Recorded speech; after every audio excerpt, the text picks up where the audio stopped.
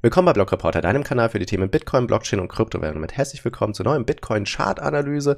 Du siehst es hier schon bei mir im Hintergrund. Der Bitcoin Kurs hat seinen aktuellen Aufwärtstrend gebrochen. Das wirklich Wichtige heute in diesem Video ist aber tatsächlich hier unten der MACD, der seit diesem Bullrun zum ersten Mal dabei ist, im Weekly Chart bärisch zu crossen. Und was das bedeutet, das heißt kurzfristig, mittelfristig und für den gesamten Bullmarkt, den wir jetzt aktuell haben. Das werden wir gleich im Video besprechen. Und dieses Video wird dir ermöglicht, durch Pixpay deine schnellste Art, deine Kryptowährung auszucashen, inklusive Third-Party-Transactions. Das heißt, du überweist Kryptowährungen und dein Gegenüber, dein Empfänger, erhält zum Beispiel Dollar oder Euro. Und damit alle Infos in diesem Video. Viel Spaß und viel Erfolg mit Kryptowährungen.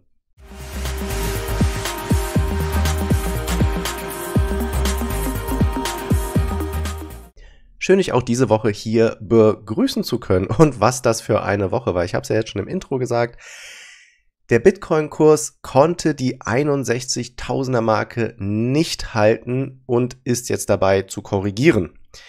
Und wir wollen heute mal so einen Blick drauf werfen, wohin das Ganze geht. Wenn du das Ganze ein bisschen detaillierter haben möchtest oder kleinteiliger und auch dich austauschen möchtest, ich hab, kann hier so ein paar Informationen einblenden. Du findest unten in der Videobeschreibung und nochmal als angepinnten Kommentar der, den Link zu meiner Blogreporter Telegram Community.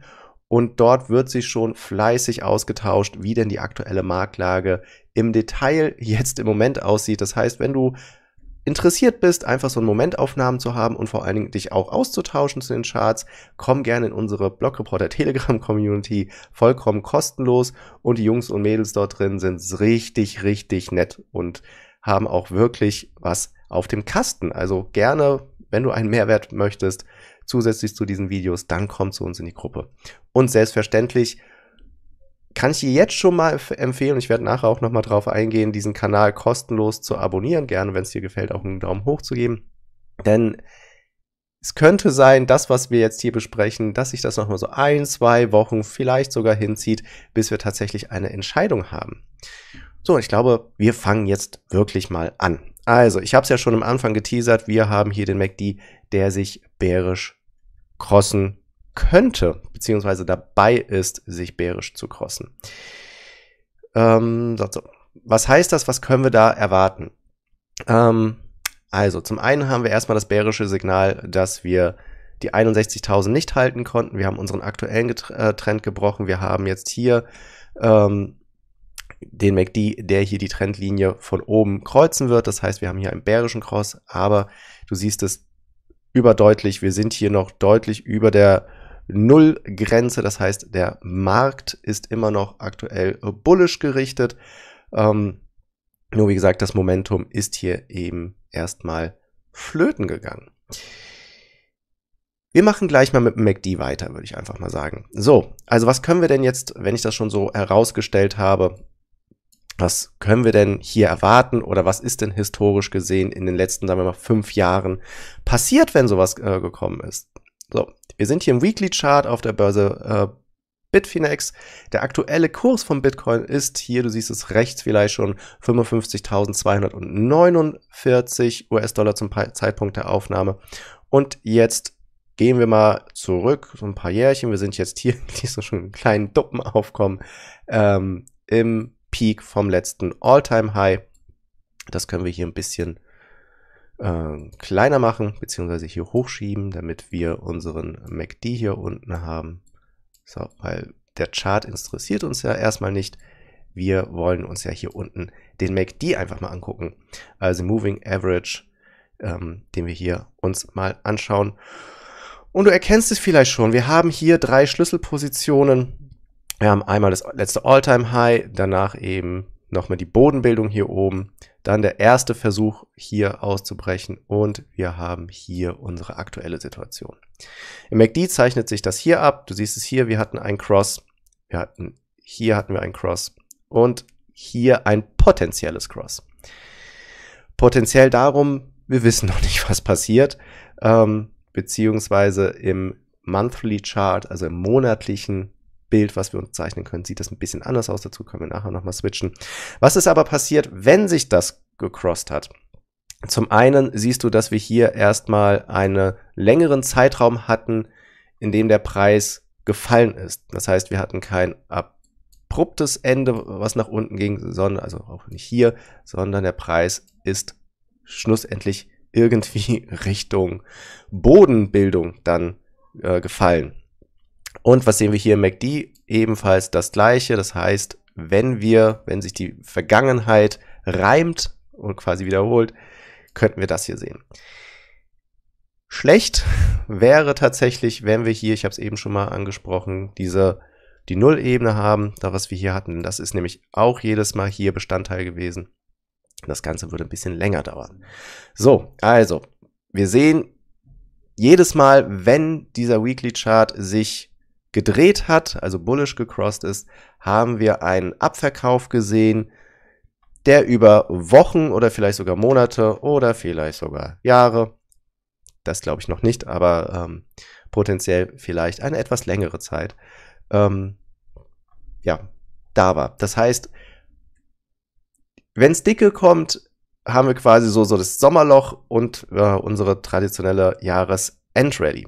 Dazu muss man sagen, wenn du dir äh, das nochmal anguckst, die Dominanz liegt vom Bitcoin unter 50% aktuell und ähm, die kleineren Projekte, also kleinere Projekte in Anführungsstrichen, also alles das nicht, was Ethereum, XRP oder in den Top 5 ist, ähm, nimmt einfach momentan sehr stark zu. Ähm, wird ja immer unter Others gelistet, also andere, äh, DeFi-Hype und dergleichen.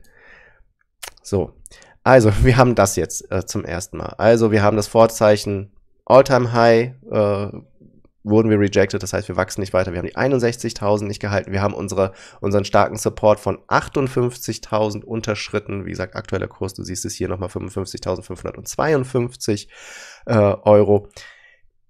Äh, Dollar, Entschuldigung, US-Dollar. Und du siehst es hier unten nochmal, der MACD, beziehungsweise nicht unten, sondern hier äh, siehst du es, dass der MACD dabei ist, bullish zu crossen. Nicht so fein. So, ähm, das ist jetzt so long-term, das heißt, wenn sich das bewahrheiten sollte, und wie gesagt, wir sind halt in einem sehr, sehr krassen Bullenmarkt, ähm, ich sage das immer mal wieder, ähm, dann ist erstmal damit zu rechnen, dass wir hier über eine etwas, etwas längere Zeit ähm, hier konsolidieren werden, beziehungsweise dass der Preis sinken wird. Ähm, wir könnten oder wir können hier äh, wenn du möchtest, auch die ganz kurz da Fibonacci Retracement äh, ansetzen. So, zack. Dann siehst du hier oben auch schon äh, in dem Chart wie ein Handschuh, wie ich ja immer äh, so schön sage. Das heißt, selbstverständlich beim Peak angesetzt, also von, vom tiefsten bis zum höchsten Punkt haben wir das Ganze jetzt äh, hier mit, äh, mit drin. Und dann siehst du, dass er hier schon das Fibo-Level bei 50.464 hier schon angetestet hatte, hard rejected wurde, aber trotzdem die aktuelle Tages- oder Wochenkerze aktuell noch unter dem Wochenschluss der letzten Kerze liegt. Und der Wochenschluss äh, lag dann eben äh, auch deutlich unter unseren 58.000, also unter, also bei 56.000, was e wie eben erwähnt das bärische Signal war. Das heißt, du siehst hier auch schon die Stufen, nach Fibonacci, in dem wir uns bewegen könnten. Das heißt, wenn wir diese 50.000 unterschreiten sollten, dann weißt ja, so gerade Zahlen sind immer gerne mal ähm, Punkte, an dem viel Trading äh, aufkommt oder dann eben und bei der Unterschreitung eben das nächste Level ansetzt. Also du siehst es hier relativ gut, also bei 50.000, bei 41.000, 34, 27 ungefähr. Wenn wir nach Fibo-Leveln das Ganze uns angucken, würden. So, den MACD machen wir jetzt erstmal weg, switchen vom Weekly zum Daily Chart und holen uns nochmal das Ganze ein bisschen genauer rein. So, also. Was wir jetzt hier relativ äh, gut erkennen können, das heißt nach diesem Anstieg, den wir jetzt hier haben, wo unser Trend denn überhaupt hinlaufen möchte. Beziehungsweise so, zack. Beziehungsweise nehmen wir einfach mal diesen Trend hier. So, zack. Vier Pixel sind ein bisschen zu groß. Und das heißt, unser aktueller Run, den wir jetzt hier haben, ist momentan einfach vorbei. So einfach müssen wir es sagen. Ähm, das heißt, somit haben wir ein aktuelles All-Time-High jetzt hier auf der Börse Bitfinex äh, definiert oder beziehungsweise hier angezeigt. So, zack, bei 64.829. Und du siehst, und ab und zu hat man schon gelesen, Bitcoin crasht auf, wäre jetzt hier irgendwie 55.000. Das ist schön. Wenn wir vor einem Jahr gucken, als wir noch hier, oder was heißt im Jahr, hier September 2020, da waren wir bei 10.000. Also, ähm, das ist ein netter Crash, aber ähm, was wir ja jetzt hier haben, sind einfach extreme Fallhöhen. Positiv äh, zu sehen, aktuell jetzt hier äh, Short Term, sind die Preis-Rejections in diesem äh, Fall. So, ähm, was auch ohne Indikatoren, äh, was jetzt möglich wäre, wenn wir uns das jetzt hier mal äh, betrachten, ist ein nach diesem Drop ein erneuter Retest dieser Supportzone beziehungsweise dieser Trendlinie, was wir uns, äh, was jetzt hier anstehen könnte. So, tap, tap, tap. Jetzt gehen wir ein bisschen raus aus dem Ganzen und nehmen mal ein bisschen das größere Bild. Wir brauchen jetzt hier auch wieder eine Trendlinie, die wir uns anzeichnen können. So, zack. Auch hier haben wir einen Trend zu verzeichnen, den wir auch hier nochmal mitgeben müssen. Und if you in doubt, zoom out. Wir holen uns auch nochmal einen größeren Trend und siehe da, unser Dip, den wir hatten, liegt genau hier drin. So, ähm, ich habe ja schon am Anfang gesagt, das könnte sich noch ein bisschen ziehen, das Ganze. Das heißt, was wir jetzt hier äh, deutlich gemacht haben, beziehungsweise wir verschönern das Ganze einfach nochmal ein bisschen, damit wir hier nicht ultra lange Linien überall mit drin haben. Einfach noch ein bisschen klarer das Ganze sehen. So, das heißt, so, zack, Verti Vertical Line, wenn wir uns das jetzt mal angucken.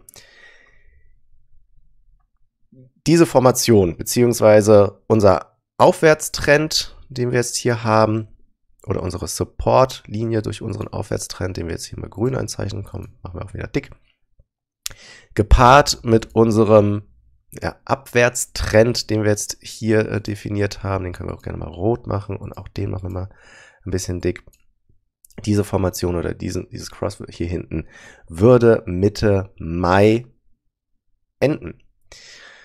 Jetzt gibt es diesen alten Spruch, sell in May and go away. Demnach könnten wir irgendwie sowas erleben. Wir werden sehen. Also, ähm, was ich jetzt hier, wir werden vielleicht gleich nochmal eins runtergehen, sehen könnten, ist in diesem Bereich hier eine Bewegung. Das heißt, wir könnten tatsächlich hier nochmal einen Drop haben in den 51.000er Bereich hinein. Nochmal nach oben schnellen Richtung 57.000. Dann, also hier würde sich dann wahrscheinlich schon entscheiden, denn im Normalfall solche Formationen laufen nicht bis zum Ende. Also dass man jetzt denkt, dass es bis hierhin geht und dann kommt irgendeine Entscheidung, ist in aller Regel nicht, sondern wenn das passiert, ähm, ist so eine Formation eben nichtig. Wobei ich hier noch nicht mal von einer Formation sprechen würde, sondern eben nur das Einzeichnen von Trends. Das heißt, unsere unterstützende Linie und unseres, unsere, ja, unsere bärische Linie, die wir äh, hier haben, unser Bärtrend, äh, den wir unterschritten haben. Also hier ist, würde ich jetzt kein gleichschenkliges Dreieck ansetzen oder ähnliches, sondern wie gesagt eben nur Trendlinie. Wir switchen jetzt nochmal in den Daily Chart und ähm, hier holen wir uns vielleicht nochmal auch den MACD nochmal dazu. Hier sehen wir ein bullisches Cross. Warum habe hab ich das jetzt gemacht? Auch hier, wenn sich das ausspielen könnte, nach so einem Drop ein äh, doppelter Boden. Das heißt, wir könnten potenziell, oder was heißt hier, der Bitcoin-Kurs könnte hier potenziell nochmal, und das würde auch dazu sprechen, was ich ja eingangs gesagt habe, oder was jetzt quasi pa äh, passiert ist bei uns, Ah, zack. Na, dahin. Ja, das passt. So, dat, dat, dat. das heißt, es wird versucht, hier in diesem Fall eben die 57.877, beziehungsweise kann man sich merken, unsere 58.000 nochmal anzutesten. Das ist so der Versuch, der jetzt möglich wäre. Das heißt hier, äh, zack, beziehungsweise loop. Wir machen das mal nochmal weg, damit wir das ein bisschen sauberer zeichnen können. So, MACD holen wir uns auch nochmal, äh, machen wir mal weg.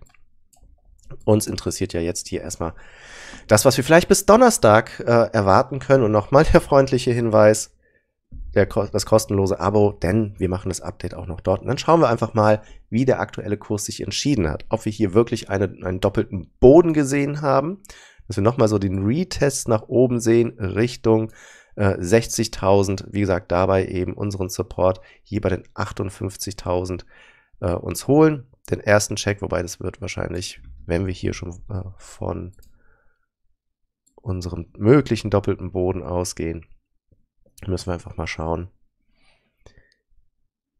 Wird vielleicht nicht ganz so cool, das heißt hier bei 56.000 Short-Term, jetzt müssten wir hier überschreiten, um hier nochmal nach oben zu gehen.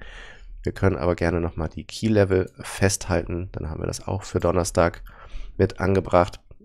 Das heißt, grob, wenn wir uns das jetzt hier angucken, 58.000, ja, aktuell 600 und hier die Trendlinie zum gleichen Preis quasi, sind wir schon bei den 60.000 drüber. Das heißt, ganz grob gemerkt, 58.000, 60.000 ist hier eine Möglichkeit, äh, die ansteht. Aber wie gesagt, wir müssen äh, gucken, was jetzt passiert. Eher bärisch gerichtet aktuell. Das heißt, auch hier wieder Vorsicht geboten, falls wir hier hochgehen sollten in der nächsten Woche Richtung hier. Vorsicht, selbst wenn es hier oben drüber ist, könnten wir hier nochmal einen Test haben. Wenn es dann nochmal runterrasselt, dann ist, glaube ich, der Weg auch äh, frei, nochmal nach unten äh, zu gehen. Was heißt das jetzt? Äh, lange Rede, ganz kurzer Sinn. Wir, wir machen das jetzt nochmal ein bisschen übersichtlicher für uns alle. Wie man so schön sagt, das fallende Messer hat keinen Griff. Ich würde es jetzt noch nicht fallendes Messer ne äh, nennen, aber wir haben schon ein deutliches Signal, dass wir hier oder dass der Kurs erstmal schaut ähm, oder gucken wird, wie er eben diesen Drop unter die 60.000 verdauen wird. Das heißt, ob wir jetzt bullish oder negativ gerichtet sind, wird sich tatsächlich noch zeigen für die bullische Variante, wie viel Potenzial drinsteckt, wenn wir weiter steigen sollten, kann ich dir das letzte Bitcoin-Video vom letzten Dienstag empfehlen. Das hat immer noch Gültigkeit, weil auch da haben wir uns einfach über das Potenzial unterhalten, wie stark das Ganze steigen könnte. Wir haben jetzt eben die Vorzeichen gesehen, dass es sich hier auch nochmal äh, drehen kann. So. Und auch hier wollen wir einfach mal gucken, ganz grob festhalten. Wir hatten ja eben schon das Fibonacci-Level, machen uns das jetzt nochmal ein bisschen einfacher und hauen einfach ganz kurz raus. Diese Level äh, könnten auch noch anstehen, wenn wir denn äh, bärisch hier ähm, in den nächsten Wochen und Monaten vielleicht mal äh, eine nächste Bodenbildung vielleicht antesten oder ein größerer Drop kommt. Das heißt hier bei 43.000 und dann nochmal bei 28.000 wäre hier nochmal quasi die alten Lows, die angetestet werden könnten. Ansonsten, klar, altes All-Time-High bei ungefähr 20.000. Dann nochmal die wichtigste Marke, die 10.000er Marke. Glaube ich aber auch schon nicht, weil ich stopp dann schon mal, weil das nächste wären 3500 und ähm, ich glaube noch nicht mal, dass wir erstmal jetzt zum Zeitpunkt äh, irgendwie die 20.000 realistisch sind. Wir müssen uns mit dem beschäftigen, was wir jetzt hier sehen. Und wie gesagt, das letzte Video vom letzten Dienstag gerne nochmal anschauen, wie weit das Ganze nach oben gehen könnte. Wir behalten uns für Donnerstag bullisches Momentum, beziehungsweise der Trend ist jetzt erstmal gebrochen. Im Wochenchart der MACD ist dabei, bärisch zu drehen. Wir haben ein unglaubliches Potenzial eben aufgebaut. Historisch gesehen war es nie cool, wenn das passiert ist. Das heißt, aktuell das Potenzial ist dabei, wenn wir jetzt hier ähm, Wochenschluss eben auch unter 58.000 noch liegen, dass wir über die nächsten Wochen und vielleicht sogar Monate einen Abverkauf sehen werden. Aber auch hier nochmal das große Aber im Vergleich zur letzten Woche, da habe ich auf den bärische oder bärisches Momentum hingewiesen, jetzt eben auf das bullische, ist einfach absolut crazy, dieser, äh, dieser Bullenmarkt. Nochmal kostenloses Abo. Wir werden dranbleiben, wir werden uns das anschauen, äh, was dort passiert. Und ich liebe diese momentane Situation, weil es endlich mal nicht nur steigende Kurse sind, sondern wir uns tatsächlich mal auch auf die nächsten Tage und die Entwicklung eines Bitcoin-Kurs freuen können. Und das nächste Bitcoin-Chart-Update, das gibt es am Donnerstag mit der Altcoin-Analyse zusammen. Die, äh, das Voting ist gestartet. Kommt zu uns in die Telegram-Gruppe. Ansonsten sehen wir uns selbstverständlich mit deinem Abo. Du wirst es nicht verpassen. Am Donnerstag um 21 Uhr wieder. Mach's gut.